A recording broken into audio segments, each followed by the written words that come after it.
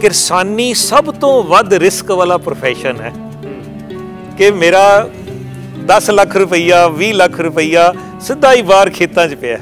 ਬਿਲਕੁਲ। ਜਦ ਤੱਕ ਉਹ ਦਾਣੇ ਮੇਰੇ ਘਰ ਆ ਕੇ ਵਿਕ ਨਹੀਂ ਜਾਂਦੇ ਤਦ ਤੱਕ ਉਹ ਮੇਰਾ ਰਿਸਕ ਹੀ ਰਿਸਕ ਹੈ। ਪ੍ਰੋਜੈਕਟ ਦਾ ਨਾਮ ਰੱਖਤਾ ਉਤਸ਼ਾਹ। ਕੀ ਬਾਤ ਹੈ। ਤੁਸੀਂ ਬੋਲੋ ਇੱਕ ਵਾਰੀ ਉਤਸ਼ਾਹ। ਅੱਛਾ ਫਿਰ ਬੋਲੋ। ਅੱਛਾ ਉਤਸ਼ਾਹ ਬੋਲ ਕੇ ਕੀ ਆ ਗਿਆ? ਹਾਸਾ ਆਇਆ ਜੀ। ਉਤਸ਼ਾਹ ਆ ਗਿਆ? ਹਾਂ ਉਚਾ ਆਇਆ ਔਰ ਇੱਕ ਚਿਹਰੇ ਦੇ ਉੱਤੇ ਇੱਕ ਮੁਸਕਾਨ ਆਈ ਸਮਾਈਲ ਆਈ। ਕਿ ਮੁਸ਼ਕਿਲਾਂ ਸਾਨੂੰ ਮਜ਼ਬੂਤ ਬਣਾਉਂਦੀਆਂ ਹਨ ਉਹ ਕਿਵੇਂ?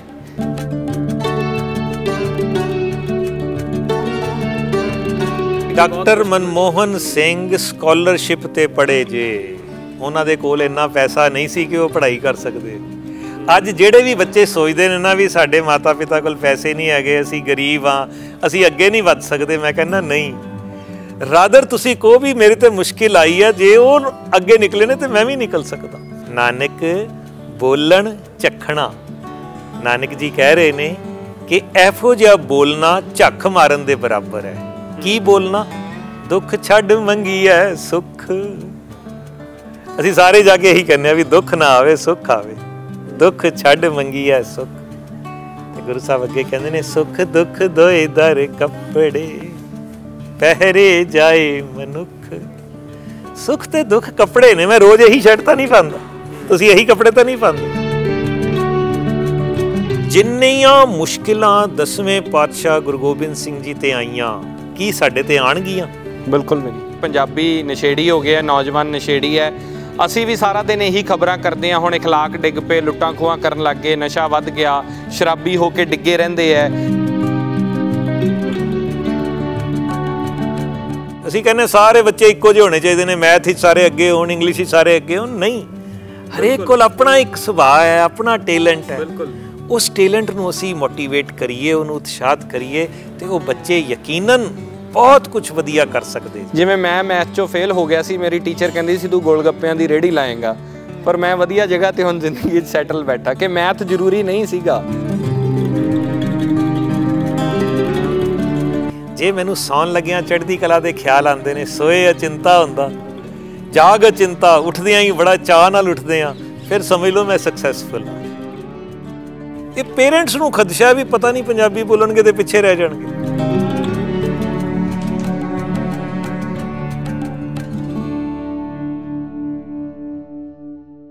ਸਤਿ ਸ਼੍ਰੀ ਅਕਾਲ ਡੇਲੀ ਪੋਸਟ ਪੰਜਾਬੀ ਦੇਖ ਰਹੇ ਹੋ ਤੁਸੀਂ, ਮੈਂ ਹਾਂ ਸਿਮਰਨਜੋਤ ਸਿੰਘ। ਅਕਸਰ ਅਸੀਂ ਬਹੁਤ ਵੱਡੀਆਂ ਗੱਲਾਂ ਦੇ ਵਿੱਚ ਉਲਝ ਕੇ ਰਹਿ ਜਾਂਦੇ ਆ ਅਕਸਰ ਜਦੋਂ ਗਿਆਨ ਦੀ ਗੱਲ ਹੁੰਦੀ ਹੈ ਤਾਂ ਅਸੀਂ ਟੀਸੀ ਤੇ ਪਹੁੰਚਣ ਦੀ ਗੱਲ ਕਰਦੇ ਆ ਪਰ ਜਿੱਥੋਂ ਸ਼ੁਰੂਆਤ ਹੁੰਦੀ ਹੈ, ਅਸੀਂ ਉਹਨਾਂ ਗੱਲਾਂ ਨੂੰ ਹੌਲੀ-ਹੌਲੀ ਭੁੱਲਦੇ ਜਾਂਦੇ ਆ ਮਿਸਾਲ ਦੇ ਤੌਰ ਤੇ ਜੇ ਮੈਂ ਤੁਹਾਨੂੰ ਪੁੱਛਾਂ ਕਿ ਤੁਸੀਂ ਤੀਜੀ, ਚੌਥੀ, ਪੰਜਵੀਂ ਜਮਾਤ ਦੀਆਂ ਕਿਤਾਬਾਂ 'ਚ ਜੋ ਚੀਜ਼ਾਂ ਪੜ੍ਹੀਆਂ ਸੀ, ਉਹ ਯਾਦ ਹੈ ਸਾਰੀਆਂ, ਤਾਂ ਕਈ ਵਾਰ ਤੁਸੀਂ ਕਹੋਗੇ ਕਿ ਨਹੀਂ, ਬਹੁਤ ਸਾਰੀਆਂ ਗੱਲਾਂ ਬੇਸਿਕ ਚੀਜ਼ਾਂ ਅਸੀਂ ਭੁੱਲ ਜਾਂਦੇ ਆ ਤੇ ਵੱਡੀਆਂ ਚੀਜ਼ਾਂ ਵੱਲ ਅਸੀਂ ਮੂਵ ਔਨ ਹੋ ਜਾਂਦੇ ਆ ਜ਼ਿੰਦਗੀ ਵੀ ਇਸੇ ਤਰ੍ਹਾਂ ਚੱਲ ਰਹੀ ਹੈ ਔਰ ਇਸ ਦੇ ਵਿੱਚੋਂ ਅਸੀਂ ਵੱਡੀਆਂ ਖੁਸ਼ੀਆਂ ਲੱਭਦੇ ਲੱਭਦੇ, ਛੋਟੀਆਂ ਨੂੰ ਭੁੱਲ ਕੇ, ਛੋਟੀਆਂ ਨੂੰ ਮਿੱਧਦੇ ਹੋਏ ਗਾਂ ਤੁਰਦੇ ਆ ਤੇ ਵੱਡੀਆਂ ਵੀ ਸਾਨੂੰ ਕਈ ਵਾਰ ਹਾਸਲ ਨਹੀਂ ਹੁੰਦੀਆਂ।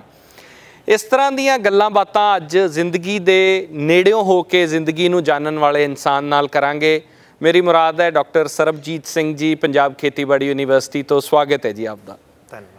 ਡਾਕਟਰ ਸਾਹਿਬ ਜਿਵੇਂ ਮੈਂ ਗੱਲ ਕੀਤੀ ਹੈ ਮੇਰਾ ਪਹਿਲਾ ਸਵਾਲ ਬੜਾ ਸਿੰਪਲ ਹੈ ਕਿ ਜ਼ਿੰਦਗੀ ਜੀਣ ਦਾ ਨੁਕ- ਨੁਕਤਾ ਕੀ ਹੈ ਜੀ? ਫੰਡਾ ਕੀ ਹੈ ਜ਼ਿੰਦਗੀ ਜੀਣ ਦਾ? ਨੁਕਤਾ ਜਾਂ ਫੰਡਾ ਜਾਂ ਨਿਸ਼ਾਨਾ? ਮੈਂ ਕਹਾਂਗਾ ਵੀ ਆਨੰਦ ਵਿੱਚ ਰਹਿਣਾ। ਹੂੰ। ਚੜ੍ਹਦੀ ਕਲਾ ਵਿੱਚ ਰਹਿਣਾ ਵਿਕਾਸ ਵਿੱਚ ਰਹਿਣਾ ਇਹ ਸਾਡੇ ਜੀਵਨ ਦਾ ਮੁੱਖ ਮੁੱਦਾ ਹੈ।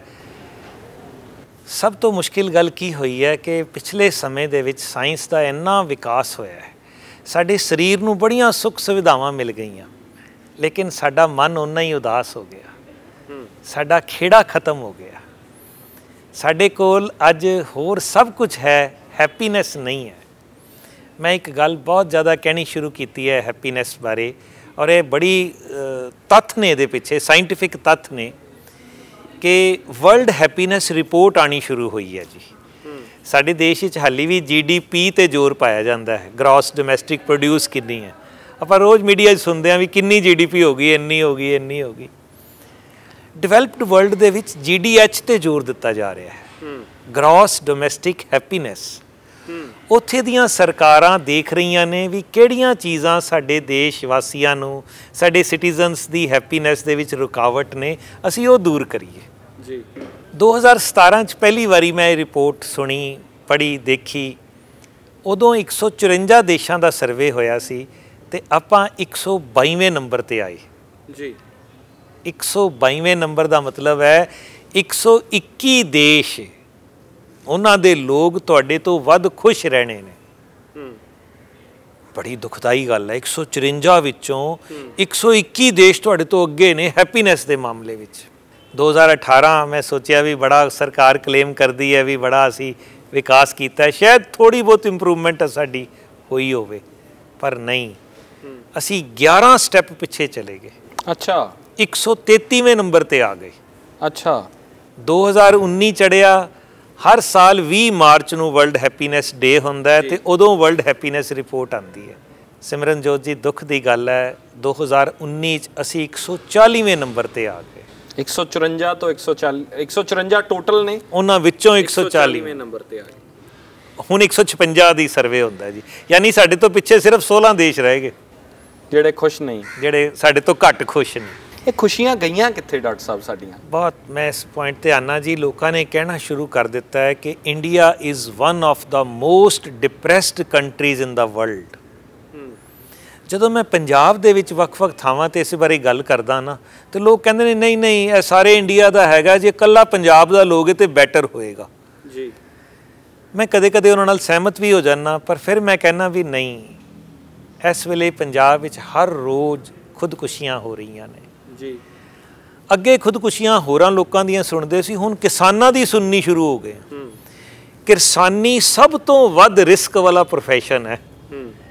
ਕਿ ਮੇਰਾ 10 ਲੱਖ ਰੁਪਈਆ 20 ਲੱਖ ਰੁਪਈਆ ਸਿੱਧਾ ਹੀ ਬਾਹਰ ਖੇਤਾਂ 'ਚ ਪਿਆ। ਹੈ। ਬਿਲਕੁਲ। ਜਦ ਤੱਕ ਉਹ ਦਾਣੇ ਮੇਰੇ ਘਰ ਆ ਕੇ ਵਿਕ ਨਹੀਂ ਜਾਂਦੇ ਤਦ ਤੱਕ ਉਹ ਮੇਰਾ ਰਿਸਕ ਹੀ ਰਿਸਕ ਹੈ। ਬਿਲਕੁਲ। ਚਾਹੇ ਉਹ ਮੌਸਮ ਦਾ ਰਿਸਕ ਹੈ ਚਾਹੇ ਉਹ ਅੱਗ ਦਾ ਰਿਸਕ ਹੈ ਚਾਹੇ ਕੋਈ ਹੋਰ ਰਿਸਕ ਹੈ। ਬਿਲਕੁਲ। ਲੇਕਿਨ ਫਾਰਮਰ ਕਦੇ ਖੁਦਕੁਸ਼ੀ ਨਹੀਂ ਸੀ ਕਰਦਾ ਹੁੰਦਾ। ਇਹ ਇੱਕ ਡਿਪਰੈਸ਼ਨ ਹੈ ਜਿਨੇ ਸਾਨੂੰ ਖੁਦਕੁਸ਼ੀਆਂ ਵੱਲ ਲੈ ਗਿਆ ਹੈ। ਹੁਣ ਇਹ ਡਿਪਰੈਸ਼ਨ ਆਇਆ ਕਿਉਂ? ਕੀ ਅਚਾਨਕ ਆ ਗਿਆ? ਕਿ ਇੱਕਦਮ ਬਹੁਤੇ ਲੋਕ ਕਹਿੰਦੇ ਨੇ ਜੀ ਕਰਜ਼ੇ ਕਰਕੇ ਆਇਆ। ਹੂੰ। ਇਹ ਠੀਕ ਵੀ ਹੈ ਤੇ ਗਲਤ ਵੀ ਹੈ। ਅੱਛਾ ਗਲਤ ਕਿਵੇਂ ਹੈ? ਬਹੁਤ ਵਧੀਆ ਗੱਲ। ਕਰਜ਼ਾ ਖੇਤੀਬਾੜੀ ਦਾ ਕਰਜ਼ਾ ਨਹੀਂ ਹੈ।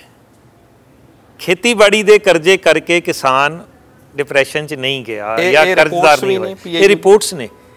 ਇਹ ਵਿਧਾਨ ਸਭਾ ਅਸੈਂਬਲੀ ਦੀ ਰਿਪੋਰਟ ਹੈ ਕਿ ਸਾਡੇ ਕਿਸਾਨਾਂ ਨੇ ਬਹੁਤ ਜ਼ਿਆਦਾ ਖਰਚਾ ਕਰਨਾ ਸ਼ੁਰੂ ਕਰਤਾ ਵਿਆਹਾਂ ਤੇ।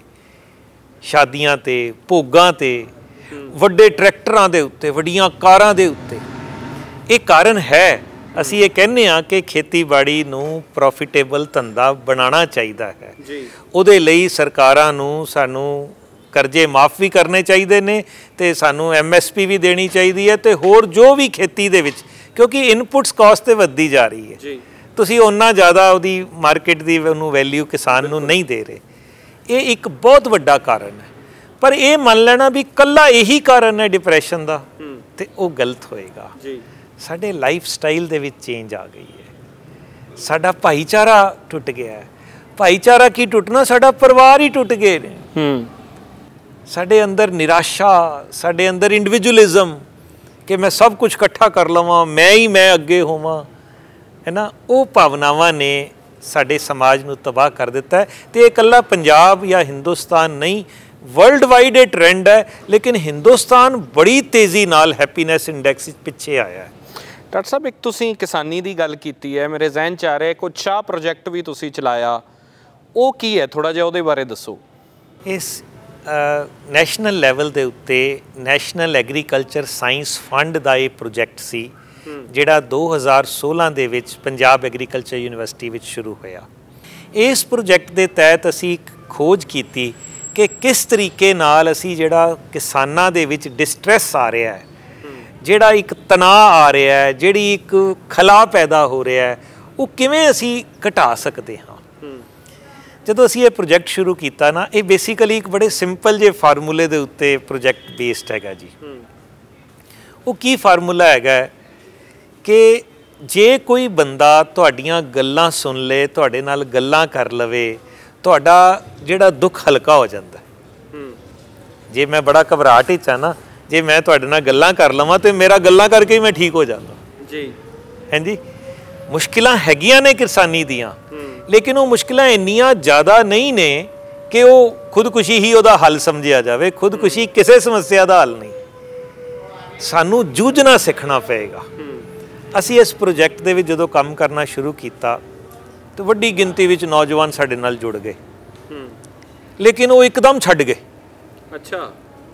ਮੈਂ ਬੜਾ ਪਰੇਸ਼ਾਨ ਵੀ ਪਹਿਲਾਂ ਪਹਿਲਾਂ ਤੇ ਬੱਚਿਆਂ ਨੇ 500 ਬੱਚਿਆਂ ਨੇ 1000 ਬੱਚਿਆਂ ਨੇ 2000 ਬੱਚਿਆਂ ਨੇ ਫਾਰਮ ਭਰਤੇ ਕਿ ਅਸੀਂ ਕੰਮ ਕਰਾਂਗੇ। ਤੇ ਸਡਨਲੀ ਉਹਨਾਂ ਚੋਂ 20 ਜਣੇ ਰਹਿ ਗਏ 25 ਜਣੇ ਰਹਿ ਗਏ ਇਹ ਕੀ ਹੋਇਆ? ਜੀ। ਮੈਂ ਇੱਕ ਐਨਾਲਾਈਜ਼ ਕੀਤਾ ਦੇਖਿਆ ਕਿ ਜਦੋਂ ਸਟੂਡੈਂਟ ਕਿਸੇ ਦੂਸਰੇ ਸਟੂਡੈਂਟ ਨੂੰ ਕਹਿੰਦਾ ਹੈ ਨਾ ਕਿ ਮੈਂ ਸੁਸਾਈਡ ਪ੍ਰੀਵੈਂਸ਼ਨ ਵਾਲੇ ਪ੍ਰੋਜੈਕਟ ਤੇ ਚੱਲਾਂ ਪਹਿਲੀ ਗੱਲ ਤੇ ਪ੍ਰੀਵੈਂਸ਼ਨ ਸ਼ਬਦ ਪਿੱਛੇ ਹੀ ਰਹਿ ਜਾਂਦਾ ਸੁਸਾਈਡ ਨਜ਼ਰ ਆਂਦਾ ਵੀ ਸੁਸਾਈਡ ਵਾਲੇ ਪ੍ਰੋਜੈਕਟ ਤੇ ਚੱਲਾਂ। ਇਹ ਆਪਣੇ ਆਪ ਵਿੱਚ ਇੱਕ ਡਿਪਰੈਸਿੰਗ ਹੈ। ਤੇ ਮੈਂ ਆਪਣੇ ਵਿਰਸੇ ਤੋਂ ਸੇਧ ਲੈਂਦੇ ਹੋਏ ਕੀ ਕੀਤਾ ਜੀ? ਪ੍ਰੋਜੈਕਟ ਦਾ ਨਾਂ ਹੀ ਬਦਲ ਦਿੱਤਾ। ਹੂੰ। ਪ੍ਰੋਜੈਕਟ ਦਾ ਨਾਂ ਰੱਖਤਾ ਉਤਸ਼ਾਹ। ਕੀ ਬਾਤ ਹੈ। ਤੁਸੀਂ ਬੋਲੋ ਇੱਕ ਵਾਰੀ ਉਤਸ਼ਾਹ। ਅੱਛਾ ਫਿਰ ਬੋਲੋ। ਅੱਛਾ ਉਤਸ਼ਾਹ ਬੋਲ ਕੇ ਕੀ ਆ ਗਿਆ? ਹਸਾ ਆਇਆ ਜੀ। ਉਤਸ਼ਾਹ ਆ ਗਿਆ? ਹਾਂ, ਉਤਸ਼ਾਹ ਆਇਆ ਔਰ ਇੱਕ ਚਿਹਰੇ ਦੇ ਉੱਤੇ ਇੱਕ ਮੁਸਕਾਨ ਆਈ ਸਮਾਈਲ ਆਈ। ਮੈਂ ਕਹਿਣਾ ਸ਼ੁਰੂ ਕੀਤਾ ਚੜ੍ਹਦੀ ਕਲਾ ਸੋਚਾਂਗੇ ਚੜ੍ਹਦੀ ਕਲਾ ਹੋ ਜਾਏਗੀ। ਕੀ ਬਾਤ ਹੈ। ਮੁਸ਼ਕਿਲਾਂ ਹੈ ਨੇ ਬਹੁਤ ਕਿਰਸਾਨੀ ਦੀਆਂ ਮੁਸ਼ਕਿਲਾਂ ਨੇ ਅਦਰਵਾਈਜ਼ ਸੋਸਾਇਟੀ ਦੀ ਮੁਸ਼ਕਿਲਾਂ ਨੇ। ਲੇਕਿਨ ਜੇ ਤੁਸੀਂ ਮੁਸ਼ਕਿਲਾਂ ਨੂੰ ਹਵਾ ਬਣਾ ਕੇ ਦਬ ਜਾਓਗੇ ਤੇ ਗਏ। ਤੁਹਾਨੂੰ ਮੁਸ਼ਕਿਲਾਂ ਦੇ ਸਾਹਮਣੇ ਡਟਣਾ ਪਏਗਾ। ਤੇ ਸ਼ਬਦਾਵਲੀ ਬਦਲ ਦਿੱਤੀ। ਕੀ ਬਾਤ ਅਸੀਂ ਉਤਸ਼ਾਹ ਰੱਖ ਦਿੱਤਾ ਨਾ। ਔਰ ਉਸ ਤੋਂ ਬਾਅਦ ਸਾਨੂੰ ਇੰਨੀ ਸਫਲਤਾ ਮਿਲੀ ਸਾਰੇ ਦੇਸ਼ ਦੇ ਵਿੱਚ ਤਿੰਨ ਰਾਜਾਂ ਵਿੱਚ ਇਹ ਪ੍ਰੋਜੈਕਟ ਚੱਲਿਆ। ਮੈਂ ਨਟਸ਼ੈਲ ਦੇ ਵਿੱਚ ਦੱਸਣਾ ਇਸ ਪ੍ਰੋਜੈਕਟ ਦੇ ਵਿੱਚ ਪਹਿਲੀ ਗੱਲ ਅਸੀਂ ਇਹ ਕਰਨੀ ਸ਼ੁਰੂ ਕੀਤੀ ਹੈ। ਨੌਜਵਾਨ ਬੱਚਿਆਂ ਨਾਲ ਤੇ ਉਹ ਉਹਨਾਂ ਰਾਹੀਂ ਕਿਸਾਨਾਂ ਤੱਕ ਕਿ ਮੁਸ਼ਕਿਲਾਂ ਸਾਨੂੰ ਮਜ਼ਬੂਤ ਬਣਾਉਂਦੀਆਂ ਹਨ ਉਹ ਕਿਵੇਂ? ਬਹੁਤ ਵਧੀਆ ਸਵਾਲ। ਤੁਸੀਂ ਬੜੀ ਹੈਰਾਨੀ ਦੀ ਗੱਲ ਹੈ ਮੈਂ ਟੋਕ ਰਿਹਾ ਤੁਹਾਨੂੰ ਕਿ ਤੁਸੀਂ ਕਹਿ ਰਹੇ ਹੋ ਕਿ ਮੁਸ਼ਕਿਲਾਂ ਸਾਨੂੰ ਮਜ਼ਬੂਤ ਬਣਾਉਂਦੀਆਂ ਮਤਲਬ ਮੁਸ਼ਕਿਲਾਂ ਹੋਣੀਆਂ ਚਾਹੀਦੀਆਂ ਬਿਲਕੁਲ ਹੋਣੀਆਂ ਚਾਹੀਦੀਆਂ ਨੇ। ਮੈਂ ਇੱਕ ਗੱਲ ਕਹਿਣਾ ਜੀ ਮੇਰੇ ਤੇ ਇੱਕ ਮੁਸ਼ਕਿਲ ਆਈ ਸਪੋਜ਼ ਕਰ ਲਓ ਮੈਂ ਇੱਕ ਹਫਤਾ ਪਰੇਸ਼ਾਨ ਰਿਹਾ। ਜੀ। 6 ਮਹੀਨੇ ਬਾਅਦ ਉਹੀ ਮੁਸ਼ਕਿਲ ਦੁਬਾਰਾ ਆ ਗਈ। ਜੀ। ਹੁਣ ਦੱਸੋ ਮੈਂ ਇੱਕ ਹਫਤਾ ਪਰੇਸ਼ਾਨ ਰਵਾਂਗਾ ਵੱਧ ਕੇ ਘੱਟ? ਘੱਟ ਰਹੋਗੇ? ਕਿਉਂ? ਕਿਉਂਕਿ ਤੁਹਾਨੂੰ ਪਤਾ ਹੈ ਕਿ ਨਜਿੱਠਣਾ ਕਿਵੇਂ ਉਹਦੇ ਨਾਲ? ਅੱਛਾ 2 ਸਾਲ ਬਾਅਦ ਉਹੀ ਸਮੱਸਿਆ ਫੇਰ ਆ ਗਈ। ਹੂੰ। ਹੁਣ ਦੱਸੋ। ਉਹ ਲੈਵਲ ਘਟਦਾ ਜਾਣਾ ਹੈ ਘਟਦਾ ਜਾਏਗਾ। ਬੰਦਾ ਉਹੀ ਮੁਸ਼ਕਿਲ ਉਹੀ ਪਹਿਲੀ ਵਾਰੀ 7 ਦਿਨ ਪਰੇਸ਼ਾਨ ਰਿਹਾ ਦੂਜੀ ਵਾਰੀ 2 ਦਿਨ ਪਰੇਸ਼ਾਨ ਰਿਹਾ ਤੀਜੀ ਵਾਰੀ ਪਰੇਸ਼ਾਨ ਹੀ ਨਾ ਹੋਇਆ। ਲੜਨ ਦਾ ਤਰੀਕਾ ਆ ਗਿਆ ਕਿ ਉਹਦੇ ਨਾਲ ਨਜਿੱਠਣਾ ਕਿਵੇਂ? ਯਾਨੀ ਮੇਰੀ ਕੈਪੈਸਿਟੀ ਵੱਧ ਗਈ। ਬਿਲਕੁਲ। ਸਿਮਰਨਜੋਤ ਜੀ ਇੱਕ ਬੜੀ ਕਮਾਲ ਦੀ ਸਟੱਡੀਜ਼ ਵਰਲਡ ਲੈਵਲ ਤੇ ਇਸ ਵੇਲੇ ਚੱਲ ਰਹੀਆਂ ਨੇ। ਇੱਕ ਸਟੱਡੀ ਹੋਈ ਰੈਂਡਮਲੀ ਉਹਨਾਂ ਨੇ ਸੰਸਾਰ ਦੇ ਜਿਹੜੇ ਸਫਲ ਮਨੁੱਖ ਨੇ ਨਾ ਇਕੱਠੇ ਕਰ ਲਏ ਉਹਨਾਂ ਦੇ 100 ਬੰਦੇ ਚੁਣ ਲਏ। ਉਹਨਾਂ ਦੀ ਲਾਈਫ ਸਟੱਡੀ ਕੀਤੀ। ਬੜੀ ਕਮਾਲ ਦੀ ਗੱਲ ਉਹਨਾਂ ਵਿੱਚ ਆਈ ਕਿ ਜਿਨ੍ਹਾਂ ਤੇ ਵੱਧ ਮੁਸ਼ਕਿਲਾਂ ਆਈਆਂ ਨਾ ਉਹ ਜੀਵਨ 'ਚ ਵੱਧ ਉੱਪਰ ਪਹੁੰਚੇ। ਕੀ ਬਾਤ ਜਿਨ੍ਹਾਂ ਤੇ ਘੱਟ ਮੁਸ਼ਕਿਲਾਂ ਆਈਆਂ ਉਹ ਘੱਟ ਉੱਤੇ ਪਹੁੰਚੇ।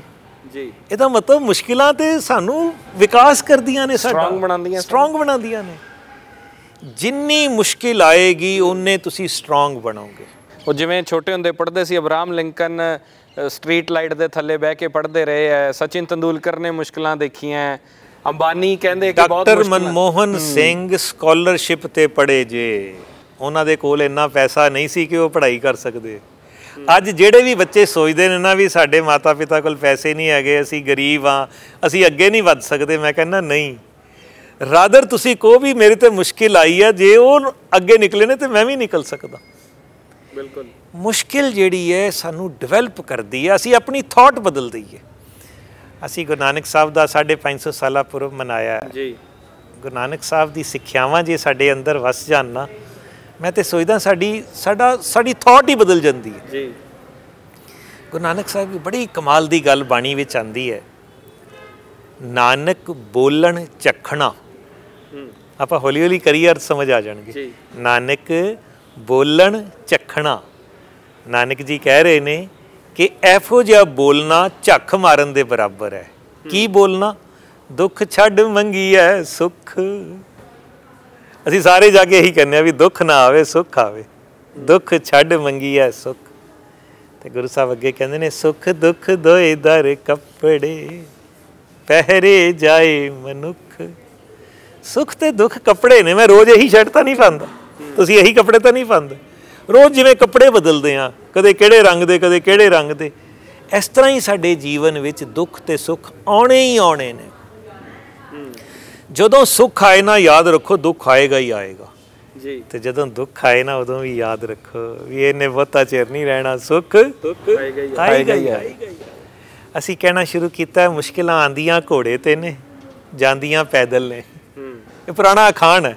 ਪਰ ਅਸੀਂ ਨਾਲ ਐਡ ਕਰਤਾ ਵੀ ਹੌਸਲਾ ਰੱਖੋ ਜਾਂਦੀਆਂ ਜ਼ਰੂਰ ਜੇ। ਜਾਂਦੀਆਂ ਜ਼ਰੂਰ। ਕੋਈ ਵੀ ਬੰਦਾ ਕਿਸੇ ਤੇ ਕਿੰਨੀਆਂ ਵੀ ਮੁਸ਼ਕਿਲਾਂ ਨੇ ਯਾਦ ਰੱਖੋ ਜੇ ਤੁਸੀਂ ਹੌਸਲਾ ਬਣਾਈ ਰੱਖੋਗੇ ਨਾ ਇਹ ਮੁਸ਼ਕਿਲਾਂ ਘਟੀ ਜਾਣਗੀਆਂ ਘਟੀ ਜਾਣਗੀਆਂ ਘਟੀ ਜਾਣਗੀਆਂ। ਤੁਹਾਡਾ ਹੌਸਲਾ ਵਧੀ ਜਾਏਗਾ। ਮੁਸ਼ਕਿਲਾਂ ਦੇ ਸਾਹਮਣੇ ਜੇ ਤੁਸੀਂ ਘੁਟਨੇ ਟੇਕ ਦਿੱਤੇ ਮੁਸ਼ਕਿਲ ਵੱਡੀ ਹੋ ਜਾਏਗੀ। ਮੁਸ਼ਕਿਲ ਦੇ ਸਾਹਮਣੇ ਜੇ ਤੁਸੀਂ ਡਟ ਗਏ ਮੁਸ਼ਕਿਲ ਛੋਟੀ ਹੋ ਜਾਏਗੀ। ਡਾਕਟਰ ਸਾਹਿਬ ਕੀ ਤੁਸੀਂ ਇਹ ਕਹਿਣ ਦੀ ਕੋਸ਼ਿਸ਼ ਕਰ ਰਹੇ ਹੋ ਕਿ ਅਸੀਂ ਜਦੋਂ ਗੁਰੂ ਘਰ ਜਾਂਦੇ ਆ ਗੁਰੂ ਤੋਂ ਜਾ ਕੇ ਇਹ ਨਾ ਮੰਗੀਏ ਕਿ ਮੈਨੂੰ ਦੁੱਖ ਨਾ ਦੇ? ਇਹ ਕਹੀਏ ਕਿ ਦੁੱਖ ਨਾਲ ਲੜਨ ਦਾ ਤਰੀਕਾ ਦੇ ਦੇ। ਬਿਲਕੁਲ ਜੀ ਬਿਲਕੁਲ। ਕਿ ਦੁੱਖ ਆ ਰਿਹਾ ਕੋਈ ਗੱਲ ਨਹੀਂ। ਇਹਨੂੰ ਅਸੀਂ ਕਹਿੰਦੇ ਆ ਭਾਣਾ ਮੰਨਣਾ। ਖੁਸ਼ੀ ਨਾਲ ਭਾਣਾ ਮੰਨਣਾ। ਜੋ ਚੀਜ਼ ਮੇਰੀ ਮੇਰੀ ਕਿਸੇ ਗਲਤੀ ਨਹੀਂ ਮੈਂ ਕੋਈ ਗਲਤੀ ਨਹੀਂ ਕੀਤੀ ਫਿਰ ਵੀ ਮੇਰੇ ਤੇ ਮੁਸ਼ਕਿਲ ਆ ਗਈ। ਹੈ ਨਾ? ਇਹਦਾ ਮਤਲਬ ਇਹ ਪ੍ਰਮਾਤਮਾ ਨੇ ਤੁਹਾਨੂੰ ਡਿਵੈਲਪ ਕਰਨ ਲਈ ਭੇਜਿਆ ਹੈ। ਇਹ ਤੁਹਾਡਾ ਵਿਕਾਸ ਕਰ ਰਹੀ ਜੀ ਅਸਲ ਵਿੱਚ। ਇਹ ਪ੍ਰੋਬਲਮ ਨਹੀਂ ਹੈ ਓਪਰਚੁਨਿਟੀ ਜੇ। ਕੀ ਬਾਤ ਹੈ। ਜਦੋਂ ਅਸੀਂ ਇਸ ਨੁਕਤਾ ਨਿਗਾਹ ਨਾਲ ਹਰ ਪ੍ਰੋਬਲਮ ਨੂੰ ਦੇਖਾਂਗੇ ਨਾ ਉਹ ਪ੍ਰੋਬਲਮ ਉੱਥੇ ਹੀ ਖਤਮ ਹੋ ਜਾਏਗੀ ਜੀ। ਇੱਕ ਇੰਗਲਿਸ਼ ਦਾ ਬੜਾ ਪਿਆਰਾ ਅਖਾਣ ਹੈ ਅਸੀਂ ਆਪਣੇ ਟੀਮ ਦੇ ਨਾਲ ਬਹੁਤ ਸ਼ੇਅਰ ਕੀਤਾ pains and problems are inevitable ਹੂੰ। ਦੁੱਖ ਵੀ ਤੇ ਮੁਸ਼ਕਿਲਾਂ ਵੀ ਆਉਣਗੀਆਂ ਹੀ ਆਉਣਗੀਆਂ। ਬਿਲਕੁਲ। But to be miserable is optional ਹੂੰ। ਦੁੱਖ ਵਿੱਚ ਦੁਖੀ ਹੋਣਾ ਹੈ ਕਿ ਨਹੀਂ ਹੋਣਾ ਇਹ ਆਪਸ਼ਨਲ ਜੇ। ਇਹ ਤੁਹਾਡੇ ਤੇ ਹੈ। ਆਪਸ਼ਨ ਕਹਿੰਦੇ ਨੇ ਆਪਸ਼ਨਲ ਸਬਜੈਕਟ ਹੈ ਵੀ ਇਹ ਲੈਣਾ ਕਿ ਇਹ ਲੈਣਾ। ਜਦੋਂ ਦੁੱਖ ਆਏ ਨਾ ਉਹਦੇ 'ਚ ਵੀ ਕਹੋ ਮੈਂ ਖੁਸ਼ ਰਹਿਣਾ ਦੁੱਖ ਤੇ ਆ ਹੀ ਗਿਆ। ਦੇਖੋ ਜੇ ਤੁਸੀਂ ਇਸ ਅਵਸਥਾ 'ਚ ਇਸ ਨੁਕਤਾ ਨਿਗਾਹ ਨਾਲ ਮੁਸ਼ਕਿਲ ਦੇ ਸਾਹਮਣੇ ਡਟ ਜਾਓਗੇ ਨਾ ਉਹ ਮੁਸ਼ਕਿਲ ਤੁਹਾਨੂੰ ਦੁਖੀ ਨਹੀਂ ਕਰ ਸਕਦੀ। ਇਹਦੇ ਚੋਂ ਇੱਕ ਸਵਾਲ ਆ ਰਿਹਾ ਮੇਰੇ ਜ਼ਿਹਨ 'ਚ। ਕਈ ਵਾਰ ਅਸੀਂ ਇੰਨੇ ਨਿਰਾਸ਼ ਹੋ ਜਾਂਦੇ ਆ ਜ਼ਿੰਦਗੀ 'ਚ ਇਹ ਸੋਚਦੇ ਆ ਕਿ ਇਹ ਮੇਰੇ ਨਾਲ ਹੀ ਕਿਉਂ ਹੋ ਰਿਹਾ ਹੈ? ਜਾਂ ਅਸੀਂ ਰੱਬ ਨੂੰ ਬਹੁਤ ਦੋਸ਼ ਦਿੰਨੇ ਆ ਔਰ ਕਈ ਵਾਰੀ ਤਾਂ ਇੰਨੇ ਕੁ ਅੱਗੇ ਪਹੁੰਚ ਜਾਂਦੇ ਆ ਕਿ ਗਾਲਾਂ ਤੱਕ ਕੱਢ ਦਿੰਨੇ ਆ ਅਸੀਂ ਜਦੋਂ ਬਹੁਤ ਜ਼ਿਆਦਾ ਡਿਪਰੈਸ਼ਨ 'ਚ ਆ ਬਹੁਤ ਜ਼ਿਆਦਾ ਉਸ ਉਸ ਅਵਸਥਾ 'ਚ ਕੀ ਕਰਨਾ ਚਾਹੀਦਾ? ਪਹਿਲੀ ਗੱਲ ਦੁਨੀਆ 'ਚ ਕੋਈ ਵੀ ਦੁੱਖ ਐਸਾ ਨਹੀਂ ਜਿਹੜਾ ਕੱਲੇ ਮੇਰੇ ਤੇ ਆਇਆ ਹੈ। ਇਹ ਮੇਰੇ ਤੋਂ ਪਹਿਲਾਂ ਕਈਆਂ ਤੇ ਆ ਚੁੱਕਾ ਹੈ। ਜੇ ਅਸੀਂ ਇਹ ਸਮਝ ਲਵਾਂਗੇ ਨਾ ਦੁੱਖ ਛੋਟਾ ਹੋ ਜਾਏਗਾ। ਫਰੀਦਾ ਮੈਂ ਜਾਣਿਆ ਦੁੱਖ ਮੁਝ ਕੋ ਦੁੱਖ ਸਵਾਏ ਜਗ। ਉੱਚੇ ਚੜ ਕੇ ਦੇਖਿਆ ਘਰ ਘਰ ਇਹ ਆਗ। ਇਹਦੇ ਨਾਲ ਤੁਹਾਨੂੰ ਜਿਹੜਾ ਸਾਨੂੰ ਲੱਗਦਾ ਹੈ ਨਾ ਵਾਈ ਮੀ ਮੇਰੇ ਤੇ ਕਿਉਂ ਆਇਆ? ਨਹੀਂ ਨਹੀਂ। ਸਾਰਿਆਂ ਤੇ ਆਇਆ ਤੇ ਤੇਰੇ ਤੋਂ ਵੀ ਵੱਧ ਕਈਆਂ ਤੇ ਦੁੱਖ ਆਇਆ ਜੀ। ਬੜਾ ਵਧੀਆ ਸਿਮਰਨਜੋਤ ਜੀ ਤੁਸੀਂ ਸਵਾਲ ਕਰਤਾ ਮੈਨੂੰ ਯਾਦ ਆ ਗਿਆ। ਮੈਂ ਇੱਕ ਗੱਲ ਕਹਿਣੀ ਸ਼ੁਰੂ ਕੀਤੀ ਹੈ ਕਿ ਅਸੀਂ ਪੰਜਾਬ ਗੁਰਾਂ ਦੀ ਧਰਤੀ ਹੈ। ਅਸੀਂ ਉੱਥੇ ਬੈਠੇ ਹਾਂ। ਸਾਡੇ ਸਾਹਮਣੇ ਸਾਡੇ ਗੁਰੂ ਸਾਹਿਬਾਨ ਨੇ ਦੁੱਖ ਝੇਲ ਕੇ ਐਡਾ ਜ਼ਬਰਦਸਤ ਮਾਡਲ ਖੜਾ ਕਰ ਦਿੱਤਾ ਹੈ। ਜੀ। ਜਿੰਨੀਆਂ ਮੁਸ਼ਕਿਲਾਂ ਦਸਵੇਂ ਪਾਤਸ਼ਾਹ ਗੁਰੂ ਗੋਬਿੰਦ ਸਿੰਘ ਜੀ ਤੇ ਆਈਆਂ ਕੀ ਸਾਡੇ ਤੇ ਆਣਗੀਆਂ ਬਿਲਕੁਲ ਵੀ ਨਹੀਂ। ਦੱਸੋ ਜੀ। ਚਾਰ ਬੱਚੇ ਚਾਰ ਸਾਹਿਬਜ਼ਾਦੇ ਚਾਰੇ ਸ਼ਹੀਦ। ਆਨੰਦਪੁਰ ਸਾਹਿਬ ਆਪਣਾ ਘਰ ਬਣਾਇਆ ਸੀ ਕਿਲਾ ਬਣਾਇਆ ਸੀ ਸਭ ਛੱਡਣਾ ਪੈ ਗਿਆ। ਕੋਈ ਸੇਵਕ ਕੋਲ ਨਹੀਂ ਕੋਈ ਖਾਣ ਪੀਣ ਦਾ ਆਹਰ ਨਹੀਂ ਮਾਛੀਵਾੜੇ ਦੇ ਜੰਗਲਾਂ 'ਚ ਇਕੱਲੇ ਹੀ ਗੁਰੂ ਸਾਹਿਬ। ਮੈਨੂੰ ਲੱਗਦਾ ਇਹੋ ਜੀ ਮੁਸ਼ਕਿਲ ਨਾ ਸਾਡੇ ਤੋਂ ਕਿਸੇ ਤੇ ਆਈ ਹੈ ਤੇ ਨਾ ਕਦੇ ਆਏਗੀ। ਗੁਰੂ ਸਾਹਿਬ ਨੇ ਇੰਨੀਆਂ ਮੁਸ਼ਕਿਲਾਂ ਝੇਲ ਕੇ ਵੀ ਚਿੱਠੀ ਕਿਹੜੀ ਲਿਖੀ ਹੈ ਜੀ? ਜ਼ਫਰਨਾਮਾ। ਬਿਲਕੁਲ। ਔਰੰਗਜ਼ੇਬ ਤੂੰ ਹਾਰ ਗਿਆ ਮੈਂ ਜਿੱਤ ਗਿਆ। ਜਿੱਤ ਗਿਆ। ਪੰਜਾਬ ਦੀ ਧਰਤੀ ਦਾ ਕੋਈ ਵੀ ਸ਼ਖਸ ਮੈਂ ਤੇ ਕਹਿੰਦਾ ਡਿਪਰੈਸ਼ਨ ਸ਼ਬਦ ਸਾਡਾ ਹੈ ਹੀ ਨਹੀਂ ਸਾਨੂੰ ਇਹ ਵਰਤਣਾ ਨਹੀਂ ਚਾਹੀਦਾ। ਇਹ ਤੇ ਕਦੇ ਹੋ ਹੀ ਨਹੀਂ ਸਕਦਾ ਸਾਨੂੰ। ਜਦੋਂ ਆਪਣੀ ਮੁਸ਼ਕਿਲ ਵੱਡੀ ਲੱਗੇ ਨਾ ਗੁਰੂ ਸਾਹਿਬ ਦਾ ਜੀਵਨ ਯਾਦ ਕਰ ਲਈਏ। ਕੀ ਬਾਤ ਹੈ। ਆਪਣੀ ਮੁਸ਼ਕਿਲ ਛੋਟੀ ਹੋ ਜਾਏਗੀ। ਪਰ ਤੁਹਾਨੂੰ ਲੱਗਦਾ ਹੈ ਕਿ ਜਿਸ ਤਰ੍ਹਾਂ ਸਾਡੀ ਨੌਜਵਾਨ ਪੀੜ੍ਹੀ ਅੱਗੇ ਵਧ ਰਹੀ ਮੈਂ ਅਕਸਰ ਕਹਿਣਾ ਕਿ ਹਰ ਬੰਦਾ ਉਹਨਾਂ ਨੂੰ ਟਾਰਗੇਟ ਕਰਕੇ ਕਹਿ ਰਿਹਾ ਹੈ ਨਸ਼ਿਆਂ 'ਚ ਨੇ ਹਰੇਕ ਉਹਨਾਂ ਨੂੰ ਕਹਿ ਰਿਹਾ ਕ੍ਰਿਟਿਸਾਈਜ਼ ਕਰ ਰਿਹਾ ਹੈ ਬਾਹਰ ਜਾ ਰਿਹਾ ਹੈ। ਅਸੀਂ ਕੀ ਪੋਜ਼ਿਟਿਵਿਟੀ ਦੇ ਪਾ ਰਹੇ ਹਾਂ? ਅਸੀਂ ਉਹੋ ਜਿਹਾ ਮਾਹੌਲ ਦੇ ਪਾ ਰਹੇ ਹਾਂ ਉਹਨਾਂ ਨੂੰ ਕਿ ਉਹਨਾਂ ਨੂੰ ਬਾਹ ਫੜ ਕੇ ਕਹੀਏ ਕਿ ਨਹੀਂ ਤੂੰ ਚੰਗਾ ਸੋਚ ਚੰਗਾ ਉਹਨਾਂ ਨੂੰ ਮਾਹੌਲ ਦੇ ਸਕੀਏ। ਪਹਿਲੀ ਗੱਲ ਅਸੀਂ ਇੱਕ ਪ੍ਰੋਪੇਗੰਡਾ ਦੇ ਇੱਕ ਏਜੰਡੇ ਦੇ ਵਿੱਚ ਅਸੀਂ ਸ਼ਿਕਾਰ ਹੋ ਗਏ ਹਾਂ ਕਿ ਅਸੀਂ ਆਪਣੇ ਨੌਜਵਾਨਾਂ ਨੂੰ ਨਿੰਦਣਾ ਸ਼ੁਰੂ ਕਰ ਦਿੱਤਾ ਹੈ। ਪੰਜਾਬ ਐਗਰੀਕਲਚਰ ਯੂਨੀਵਰਸਿਟੀ ਵਿੱਚ ਪਾਲ ਆਡੀਟੋਰੀਅਮ ਹੈ 5-600 ਦੀ ਉਹਦੀ ਕੈਪੈਸਿਟੀ ਹੈ। ਕੁਝ ਸਾਲ ਪਹਿਲਾਂ ਮੈਂ ਬੱਚਿਆਂ ਨੂੰ ਇੱਕ ਅਸਾਈਨਮੈਂਟ ਦਿੱਤੀ ਕਿ ਮੈਂ ਪ੍ਰੈਕਟੀਕਲ ਦੀ ਕਲਾਸ ਲੈਂਦਾ ਸੀ। ਜੀ। ਮੈਂ ਉਹਨਾਂ ਨੂੰ ਇੱਕ ਅਸਾਈਨਮੈਂਟ ਦਿੱਤੀ ਵੀ ਤੁਹਾਡੀ ਲਾਈਫ ਦੇ ਜਿਹੜੇ 3 ਇੰਪੋਰਟੈਂਟ ਮੋਸਟ ਇੰਪੋਰਟੈਂਟ ਥਿੰਗਸ ਉਹ ਲਿਖੋ। ਸਭ ਤੋਂ ਜ਼ਿਆਦਾ ਇੰਪੋਰਟੈਂਟ ਕਿਹੜੀ ਚੀਜ਼ ਕਿਹਨੂੰ ਤੁਸੀਂ ਵੈਲਿਊ ਕਰਦੇ ਹੋ? ਨੰਬਰ 2 ਤੇ ਨੰਬਰ 3 ਜੇ ਮੈਂ ਤੁਹਾਨੂੰ ਪੁੱਛਾਂ ਤੁਹਾਡੇ ਮਨ 'ਚ ਕੀ ਆਇਆ ਹੋਏਗਾ ਵੀ ਬੱਚਿਆਂ ਨੇ ਅੱਜ ਕੱਲ ਦੇ ਬੱਚੇ ਕੀ ਲਿਖਦੇ ਹੋਣਗੇ? ਸਾਡੇ ਮਨ 'ਚ ਆਂਦਾ ਵੀ ਉਹ ਪੈਸਾ ਲਿਖਦੇ ਹੋਣਗੇ ਟੌਪ ਦੀ ਪੋਸਟ ਲਿਖਦੇ ਹੋਣਗੇ ਨਸ਼ਾ ਲਿਖਦੇ ਹੋਣਗੇ ਕੈਰੀਅਰ ਲਿਖਦੇ ਹੋਣਗੇ।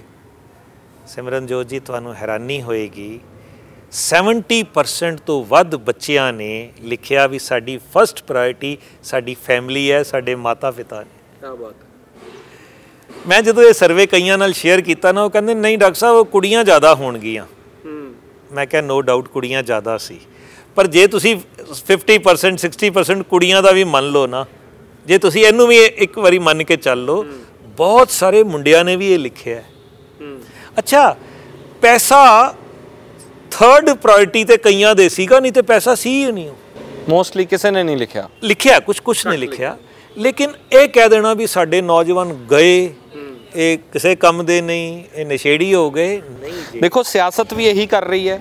ਵੱਡੇ ਵੱਡੇ ਸਿਆਸਤਦਾਨ ਪੰਜਾਬ ਚ ਆਉਂਦੇ ਕਹਿ ਦਿੰਦੇ ਆ 70% ਪੰਜਾਬੀ ਨਸ਼ੇੜੀ ਹੋ ਗਏ ਆ ਨੌਜਵਾਨ ਨਸ਼ੇੜੀ ਹੈ ਅਸੀਂ ਵੀ ਸਾਰਾ ਦਿਨ ਇਹੀ ਖਬਰਾਂ ਕਰਦੇ ਆ ਹੁਣ اخلاق ਡਿੱਗ ਪਏ ਲੁੱਟਾਂ ਖੋਹਾਂ ਕਰਨ ਲੱਗ ਗਏ ਨਸ਼ਾ ਵੱਧ ਗਿਆ ਸ਼ਰਾਬੀ ਹੋ ਕੇ ਡਿੱਗੇ ਰਹਿੰਦੇ ਐ ਇਸ ਤੋਂ ਇਲਾਵਾ ਕਦੇ ਪੋਜ਼ਿਟਿਵ ਗੱਲਾਂ ਕਿ ਜਿਹੜੇ ਨੌਜਵਾਨ ਵਾਕਈ ਚੰਗਾ ਕਰ ਰਹੇ ਜਿਵੇਂ ਤੁਸੀਂ ਦੱਸਿਆ ਕਿ ਯੂਨੀਵਰਸਿਟੀ ਦਾ ਉਹ ਸਰਵੇ ਹੈ ਮੈਨੂੰ ਲੱਗਦਾ ਇਹ ਤਾਂ ਦਿਖਾਉਣਾ ਚਾਹੀਦਾ ਪੂਰੇ ਪੰਜਾਬ ਦੇ ਵਿੱਚ ਸਿਮਰਨਜੋਤ ਜੀ ਸਾਡੇ ਯੂਥ ਦੇ ਵਿੱਚ ਬੜਾ ਪੋਟੈਂਸ਼ੀਅਲ ਹੈ ਸਾਡਾ ਯੂਥ ਬੜਾ ਕੁਝ ਕਰ ਸਕਦਾ ਹੈ ਮੈਂ ਇਹ ਸੋਚਦਾ ਜਿਵੇਂ ਹਾਕੀ ਦੇ ਕੋਚ ਨੇ ਨਾ ਕ੍ਰਿਕਟ ਦੇ ਕੋਚ ਨੇ ਸਾਨੂੰ ਇਸ ਵੇਲੇ ਪੰਜਾਬ ਵਿੱਚ ਲਾਈਫ ਕੋਚਿਸ ਦੀ ਲੋੜ ਹੈ।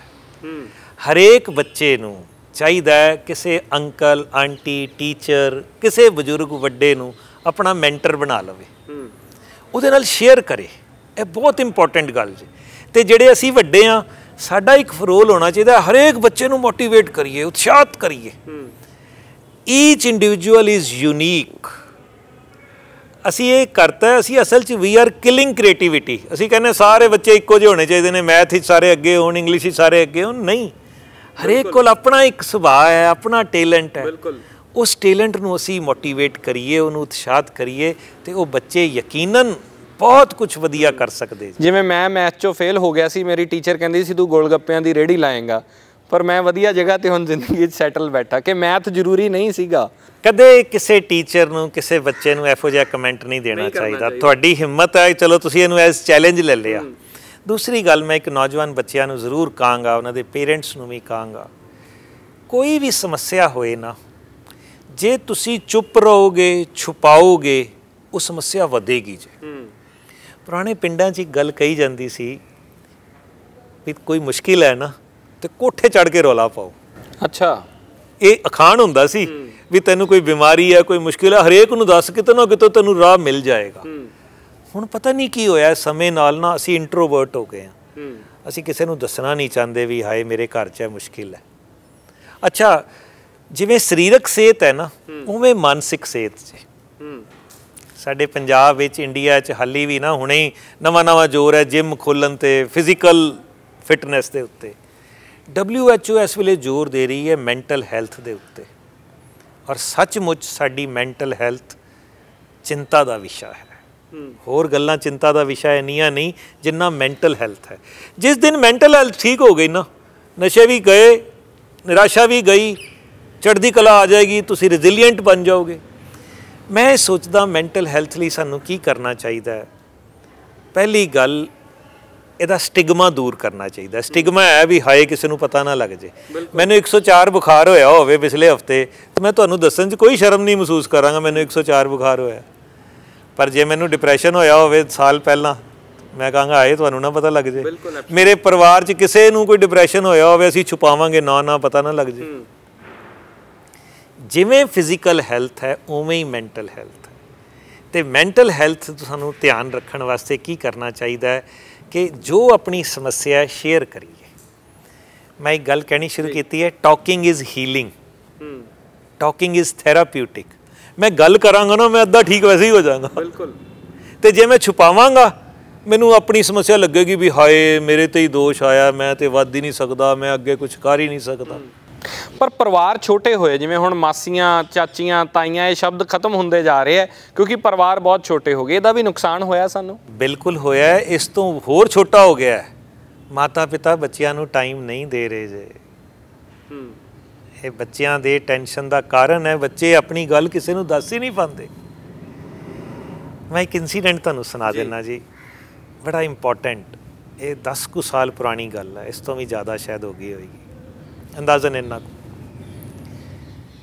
ਮੈਂ ਇੱਥੇ ਜਰਨਲਿਜ਼ਮ ਪੜ੍ਹਾਉਂਦਾ ਯੂਨੀਵਰਸਿਟੀ ਦੇ ਵਿੱਚ। ਸਾਡੇ ਬੱਚੇ ਹੀ ਬੜੇ ਥੋੜੇ ਹੁੰਦੇ ਨੇ, ਉਹਨਾਂ ਤੱਕ ਹੀ ਅਸੀਂ ਸੀਮਤ ਰਹਿੰਦੇ ਸੀ। ਇੰਨੀ ਵੱਡੀ ਯੂਨੀਵਰਸਿਟੀ 'ਚ ਅਸੀਂ ਕਾਲਜ ਆਫ ਬੇਸਿਕ ਸਾਇੰਸਿਸ ਦੇ ਜਰਨਲਿਜ਼ਮ ਡਿਪਾਰਟਮੈਂਟ 'ਚ ਉਹਨਾਂ ਬੱਚਿਆਂ ਨੂੰ ਹੀ ਪੜ੍ਹਾਉਂਦੇ ਹੁੰਦੇ ਸੀ। ਲੇਕਿਨ ਉਸ ਤੋਂ ਬਾਅਦ ਹਿਊਮਨ ਡਿਵੈਲਪਮੈਂਟ ਦੇ ਕੋਰਸ ਸ਼ੁਰੂ ਹੋਏ। ਸਾਡੇ ਵੀਸੀ ਸਾਹਿਬ ਦੀ ਬੜੀ ਦੂਰ ਅੰਦੇਸ਼ੀ ਸੀ। ਉਹਦੇ ਕਰਕੇ ਸਾਨੂੰ ਯੂਨੀਵਰਸਿਟੀ 'ਚ ਹੋਰ ਬੱਚਿਆਂ ਨਾਲ ਇੰਟਰੈਕਸ਼ਨ ਦਾ ਮੌਕਾ ਮਿਲਿਆ। ਸਿਮਰਨ ਜੋਤ ਜੀ, ਇੱਕ ਦਿਨ ਮੇਰੇ ਕਮਰੇ ਦੇ ਵਿੱਚ ਚਾਰ ਲੜਕੀਆਂ ਆਈਆਂ ਤੇ ਕਹਿੰਦੀ ਸਰ ਗੱਲ ਕਰਨੀ ਹੈ ਤੁਹਾਡੇ ਨਾਲ। ਮੈਂ ਕਿਹਾ ਬੈਠੋ। ਮੈਂ ਪੁੱਛਿਆ ਵੀ ਕਿਹੜੀ ਕਲਾਸ ਪੜ੍ਹਦੇ ਹੋ ਕਿਹੜੇ ਪਿੰਡ ਤੋਂ ਥੋੜੀ ਜੀ ਗੱਲਬਾਤ ਤੋਂ ਬਾਅਦ ਉਹ ਇੱਕ ਲੜਕੀ ਨੇ ਬਾਕੀ ਤਿੰਨਾਂ ਨੂੰ ਇਸ਼ਾਰਾ ਕੀਤਾ ਤੇ ਉੱਠ ਕੇ ਚਲੀਆਂ ਗਈਆਂ। ਹੂੰ। ਉਹ ਜਿਹੜੀ ਲੜਕੀ ਹੈ ਮੈਨੂੰ ਕਹਿੰਦੀ ਹੈ ਸਰ ਮੇਰੇ ਕੋਲ ਨਾ ਇਕੱਲੇ ਤੁਹਾਡੇ ਕੋਲ ਆਉਣ ਦੀ ਹਿੰਮਤ ਨਹੀਂ ਪੈ ਰਹੀ ਸੀ ਤਾਂ ਮੈਂ ਇਹਨਾਂ ਨੂੰ ਲੈ ਕੇ ਆਈ ਹਾਂ ਪਰ ਮੈਂ ਆਪਣੀ ਪ੍ਰੋਬਲਮ ਇਹਨਾਂ ਨੂੰ ਵੀ ਨਹੀਂ ਦੱਸੀ ਹੋਈ। ਮੈਂ ਇੱਕ ਮੁਸ਼ਕਿਲ ਦੇ ਵਿੱਚ ਹਾਂ ਸਰ ਮੈਨੂੰ ਗਾਈਡ ਕਰੋ। ਮੈਂ ਕਿਹਾ ਦੱਸੋ ਬੇਟਾ। ਕਹਿੰਦੀ ਸਰ ਮੈਨੂੰ ਲੱਗਦਾ ਮੈਨੂੰ ਡਿਪਰੈਸ਼ਨ ਹੋ ਗਿਆ ਹੈ। ਮੈਂ ਪਿਛਲੇ 1 ਸਾਲ ਦੀ ਇਸ ਯੂਨੀਵਰਸਿਟੀ 'ਚ ਹਾਂ ਤੇ ਮੈਂ ਪੂਰਾ ਦਿਨ 1 ਸਾਲ ਤੋਂ ਹੱਸੀ ਨਹੀਂ। ਅੱਛਾ। ਮੈਂ ਬੜੀ ਟੈਨਸ਼ਨ ਵਿੱਚ ਰਹਿੰਦੀ ਹਾਂ। ਮੈਂ ਕਿਹਾ ਬੇਟਾ ਕਿਉਂ? ਦੱਸੋ। ਉਸ ਬੱਚੀ ਨੇ ਆਪਣੀ ਫੈਮਿਲੀ ਦੀ ਸਾਰੀ ਸਿਚੁਏਸ਼ਨ ਦੱਸਤੀ। ਉਹ ਮੈਂ ਤੁਹਾਡੇ ਨਾਲ ਸ਼ੇਅਰ ਨਹੀਂ ਕਰ ਸਕਦਾ ਨਾ ਉਸ ਬੱਚੇ ਦਾ ਨਾਮ।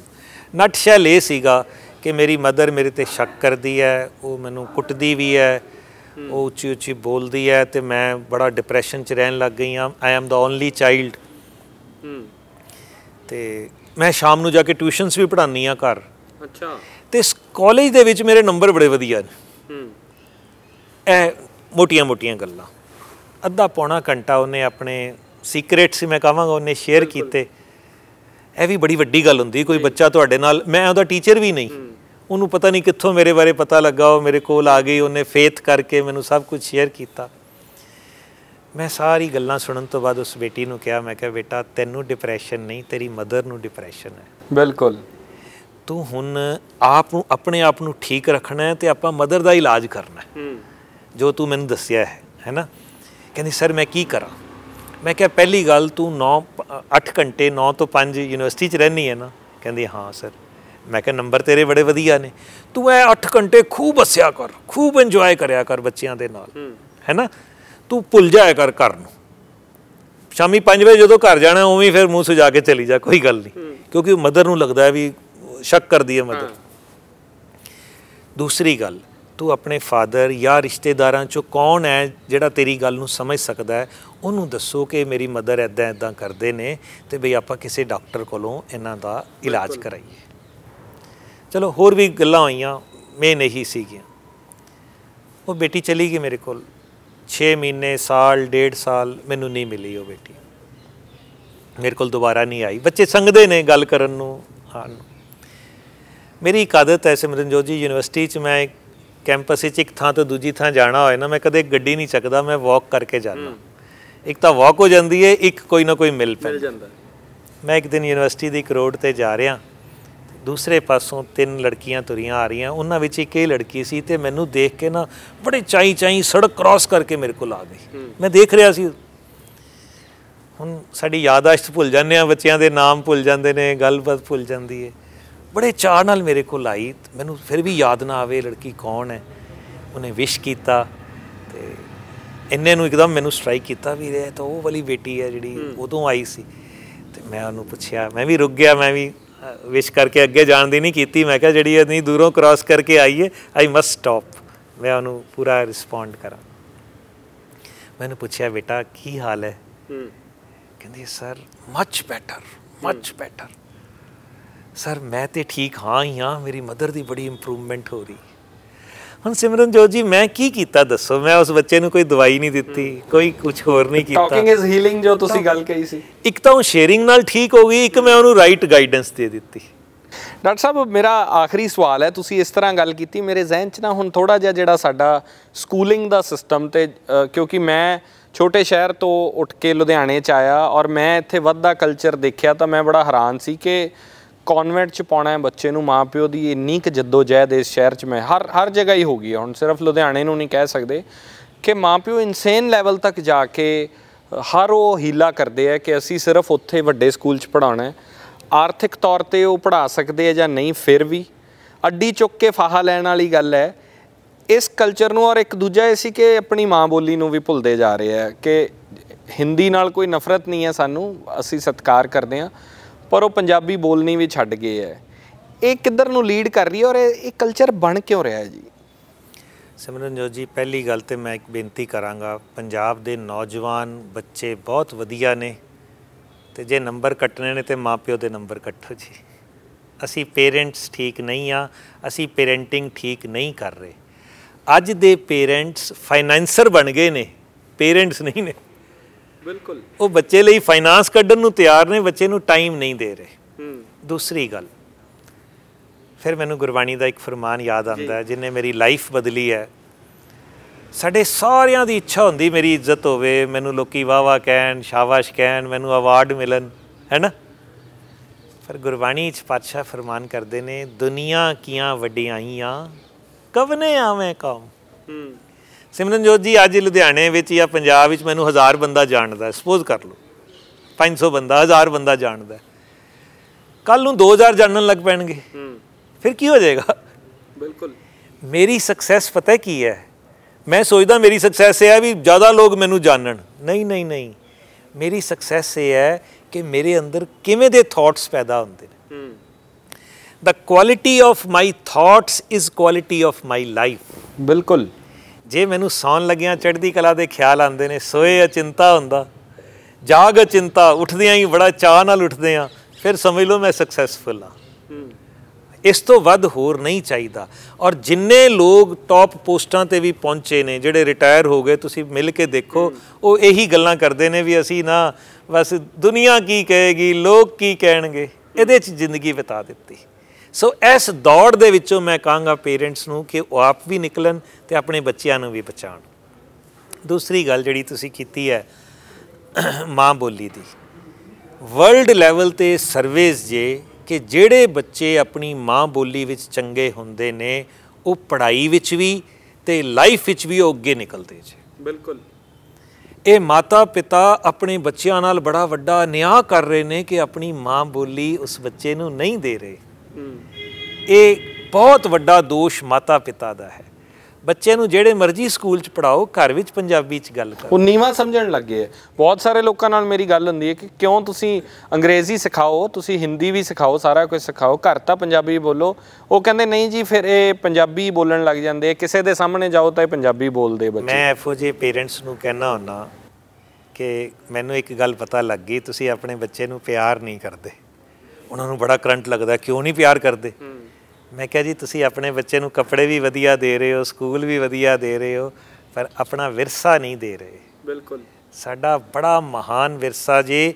We have to go to our roots ਜਿਹੜੇ ਰੂਟਸ ਨਾਲ ਜੁੜੇ ਰਹਿਣਗੇ ਉਹ ਬਹੁਤ ਪ੍ਰਫੁੱਲਤ ਹੋਣਗੇ। ਤੇ ਜਿਹੜੇ ਰੂਟਸ ਤੋਂ ਟੁੱਟ ਜਾਣਗੇ ਨਾ ਉਹ ਥੋੜੀ ਦੇਰ ਚੰਗੇ ਲੱਗਣਗੇ ਬਾਅਦ ਚੋਂ ਪਛਤਾਣਗੇ। ਮੈਂ ਇੱਕ ਵਾਰਨਿੰਗ ਦੇਣਾ ਇਹੋ ਜਿਹੇ ਪੇਰੈਂਟਸ ਨੂੰ ਕਿ ਕੱਲ ਨੂੰ ਤੁਹਾਡੇ ਬੱਚੇ ਜਦੋਂ ਸਿਆਣੇ ਹੋ ਗਏ ਨਾ ਜਦੋਂ ਉਹਨਾਂ ਨੂੰ ਸਮਝ ਆਈ ਉਹ ਤੁਹਾਡੇ ਨਾਲ ਨਾਰਾਜ਼ ਹੋਣਗੇ ਜੇ ਕਿ ਸਾਡੇ ਪੇਰੈਂਟਸ ਨੇ ਸਾਨੂੰ ਆਪਣੇ ਵਿਰਸੇ ਨਾਲੋਂ ਤੋੜਿਆ ਹੈ। ਬਿਲਕੁਲ।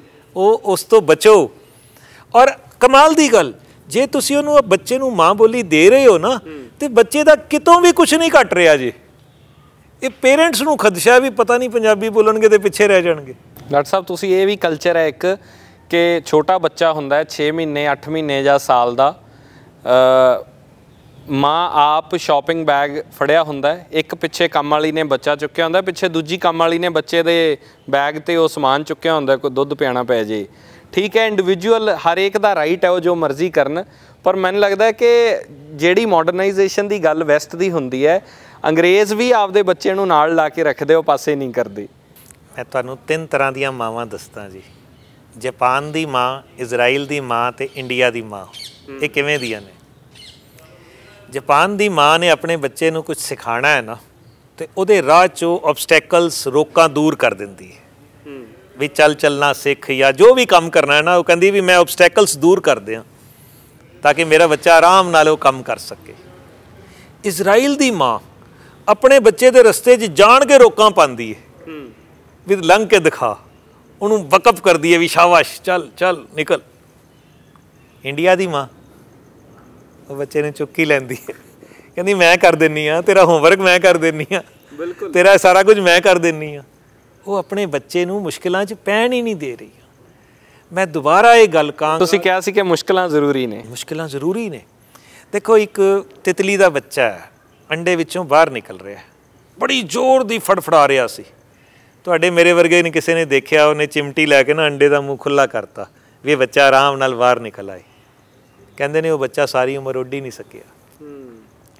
ਇਹ ਨੇਚਰ ਦਾ ਰੂਲ ਹੈ ਕਿ ਜਿੰਨਾ ਉਹ ਜਨਮ ਵੇਲੇ ਤੜਫੜਾਏਗਾ ਨਾ ਉਨੇ ਉਹਦੇ ਲੰਗਸ ਤੇ ਉਹਦੇ ਸਿਸਟਮ ਡਿਵੈਲਪ ਹੋਣਗੇ। ਅਸੀਂ ਕਹਿੰਦੇ ਨਾ ਨਾ ਨਾ ਯਾਰ ਇਹਨੂੰ ਭੀੜ ਨਹੀਂ ਪੈਣ ਦੇਣੀ ਇਹਨੂੰ ਮੁਸ਼ਕਿਲ ਨਹੀਂ ਪੈਣ ਦੇਣੀ।